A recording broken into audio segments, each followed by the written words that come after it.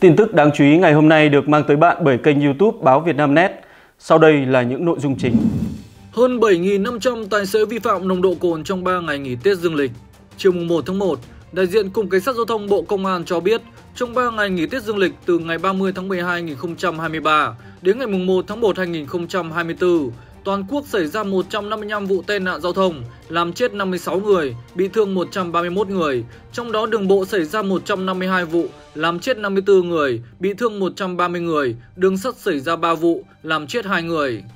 Lực lượng cảnh sát giao thông công an các đơn vị địa phương đã xử lý 25.598 trường hợp vi phạm, phạt tiền 58 tỷ 178 triệu đồng, tạm giữ 315 ô tô và 9.594 xe mô tô, 105 phương tiện khác, đồng thời tước 5.269 giấy phép lái xe các loại. Đáng nói là số vi phạm về nồng độ cồn tới 7.570 trường hợp, vi phạm về ma túy 35 trường hợp, vi phạm về tốc độ 5.103 trường hợp, cơi nới thùng xe quá khổ quá tải 354 trường hợp. Qua hệ thống giám sát theo dõi của các đội tuần tra kiểm soát giao thông đường bộ cao tốc Cục Cảnh sát Giao thông phát hiện, xử lý 409 trường hợp. Điển hình như tại Bắc Giang, Công an thành phố đã tạm giữ NTT, sinh năm 1984, trú tại quận Hoàng Mai, Hà Nội, để điều tra về hành vi chống người thi hành công vụ khi bị kiểm tra nồng độ cồn.